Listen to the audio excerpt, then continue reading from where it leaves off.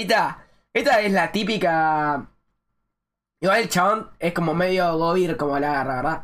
Es como que tiene miedo de meter la manito. Tiene miedo de meter la manito en la cintura. Es como que no la quiere tocar, ¿sabes? ¿Y si es tu hermana la tocas, güey?